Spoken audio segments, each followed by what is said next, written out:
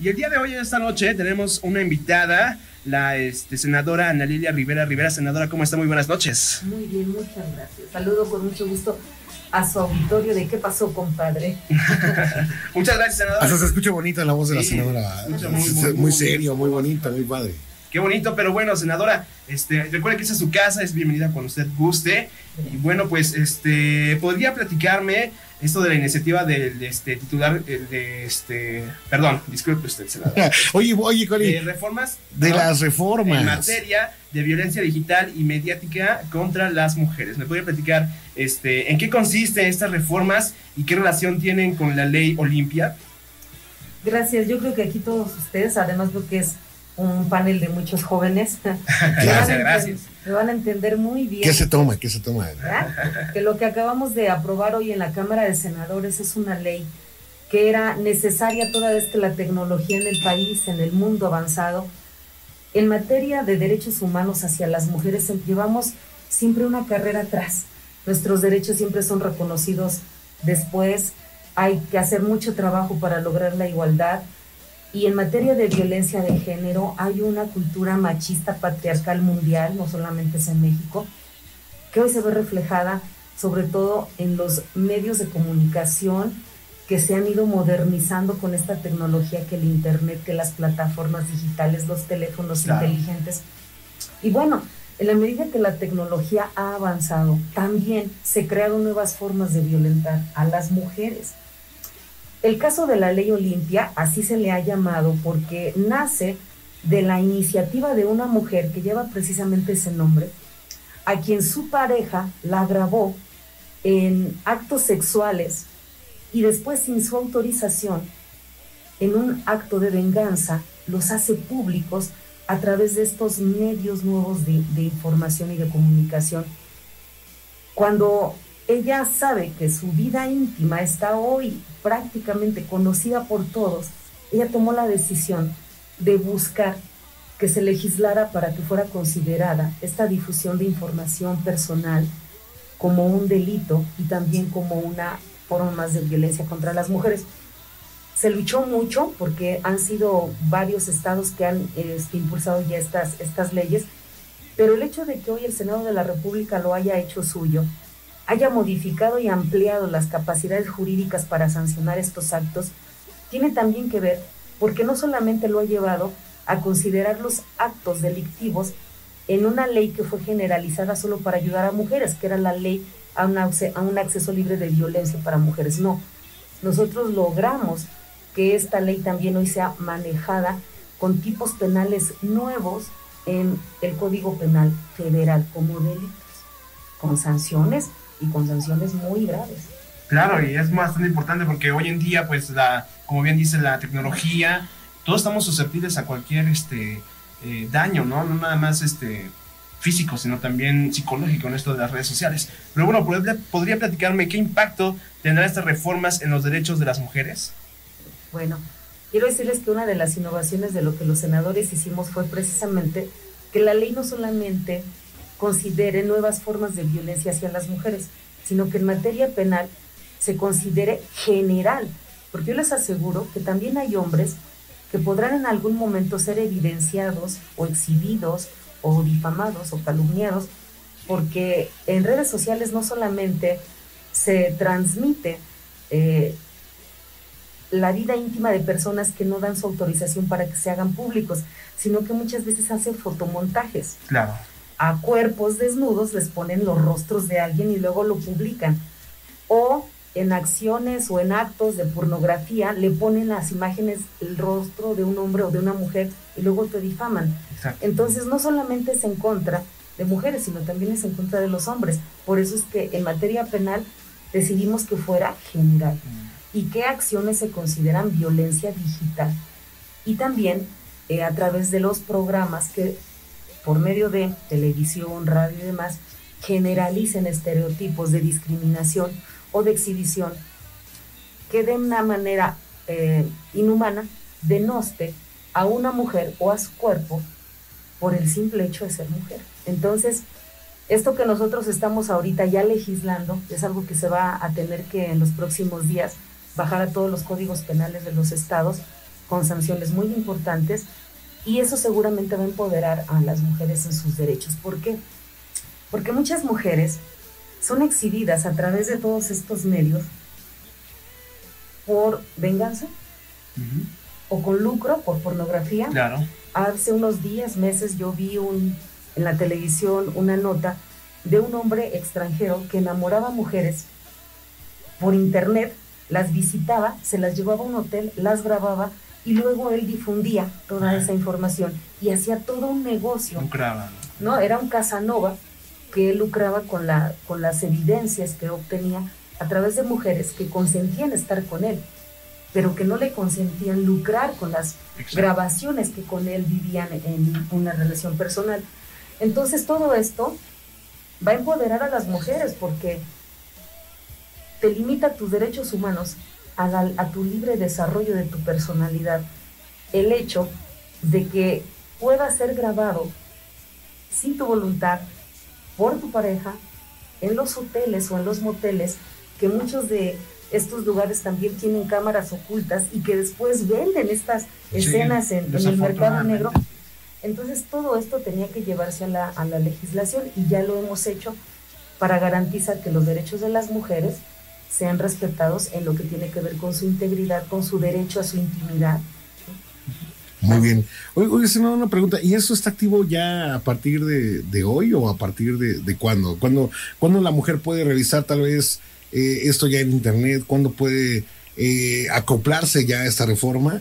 O, bien, ¿cuándo ya puede eh, comenzar a, practicar, digamos, pues a ejercer su derecho, ¿no? Como claro, la denuncia. La denuncia. Bueno, nosotros recibimos de Cámara de Diputados la iniciativa y la modificamos en Cámara de Senadores porque Cámara de Diputados solamente había considerado algunos tipos de violencia digital. Era muy ligera, ¿no? Así es, y no consideraba que también están no solamente eh, los, las redes sociales, las plataformas, que también es un gran negocio el que encontraríamos ahí, sino que también los medios de comunicación, los programas.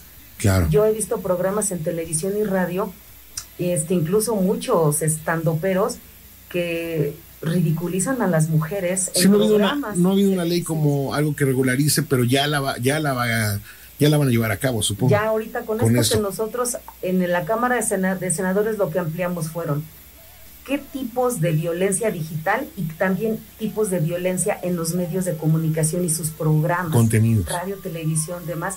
Entonces esto lo aumentamos, va a regresar ahorita a Cámara de Diputados porque como modificamos la minuta que ellos nos mandaron para ampliar estos tipos y para ampliar las penalidades y para considerarlos como delitos en, en el Código Federal de Procedimientos Penales, ahora ellos van a tener que modificar también el dictamen y seguramente no terminará el año sin que se apruebe.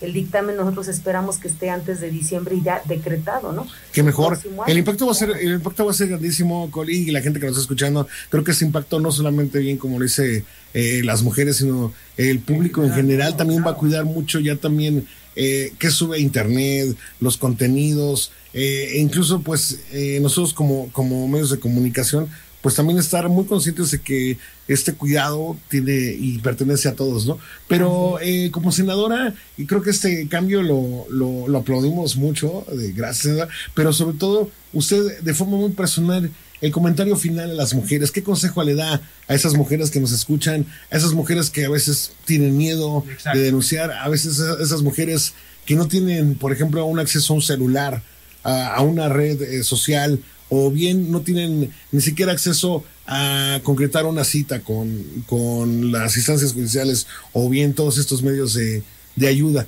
¿Qué le dice a todas esas mujeres, senadora?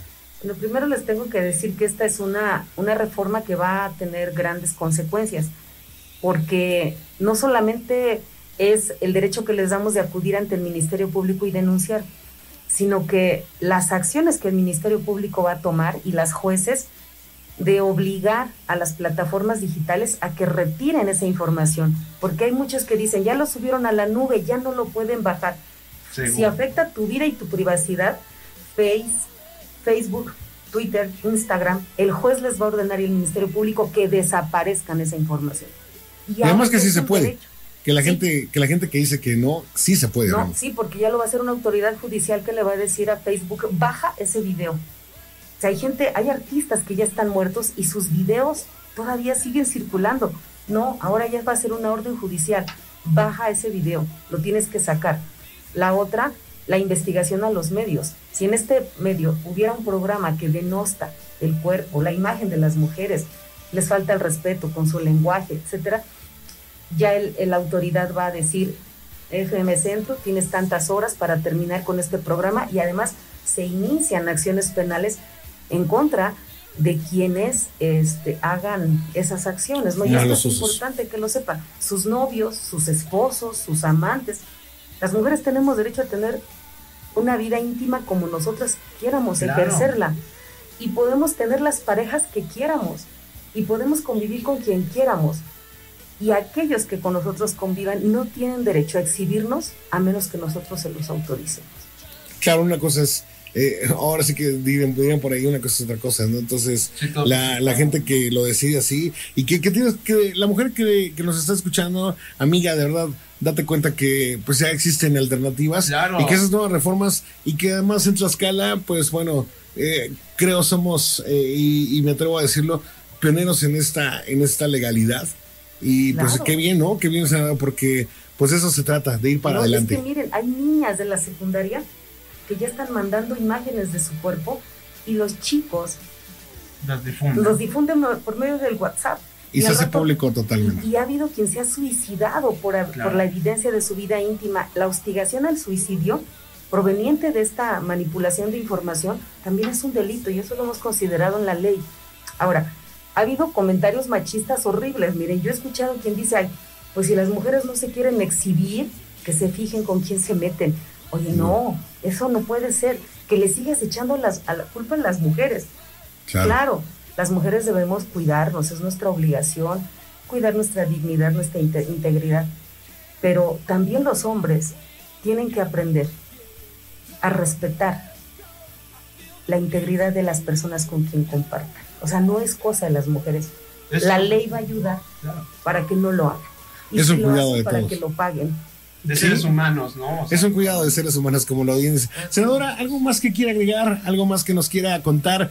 Pues que nos visite próximamente con otra ley, yo creo, ¿no? Con otra aprobación. Sin duda reforma, por favor. por pues favor. Viene, ya vamos a legalizar la cannabis. Ah, bueno. Ah, Hay que hablar de la legalización la de gente la marihuana. Que, ah, caray, eso, ah, eso, sí me interesa. No, la gente que nos está sintonizando y que realmente eh, somos, digamos, eh, somos jóvenes todavía porque eh, como Emi, dentro de la, lo platicamos fuera del aire, la gente que está dentro de las redes sociales llega más rápida la información ahora por las redes sociales que incluso por la radio o por la misma televisión, ¿no? A tu edad, por ejemplo, ¿no? Sí, y hay cosas que son mucho más fáciles de difundir eh, que incluso hace mucho tiempo. Y sí, justamente hablando acerca de las redes sociales, ya es algo que es incontrolable, pero que con una ley así ya es es algo que les puede garantizar eh, la seguridad a muchas personas. Ya la piensas un poco más, ¿no? Y además, mujeres, ¿por qué no? o sea, su ¿Por qué no? va a ser su voz, garantizado, ¿no? además que ahora ya vale, ¿no? Ya, ya, ya, es, ya es eh, ley todas estas eh, nuevas reformas y pues bueno, gracias a ustedes, Sena, por que hoy, gracias a, todos estos esfuerzos de toda la gente que está ahí arriba y que nos está ayudando, bueno, se logra todo esto, ¿no? Pues muchas gracias. Hay mucho que hablar. Ya estaremos aquí otro día. Senadora, y por último, le mandan saludos. Dice por aquí saludos para la senadora Ana Lilia Rivera Rivera, una gran mujer y orgullo de Tlaxcala desde San José Teacalco, Tlaxcala. Ay, muchas gracias. Que Dios los bendiga. Saludos. Siempre defendiendo a las mujeres. Gracias, senadora. Pues la senadora Ana Lilia Rivera Rivera. Muchas gracias, senadora. Gracias. Nos vamos con música. ¿Qué le parece aquí? ¿Qué pasó, compadre? para irnos un ratito con música. Bueno, perdón, nos vamos con música. Ah, claro, con algo bueno y alegre. Sin duda alguna. Senadora, muy buenas noches, gracias. Senadora, muy buenas noches, gracias.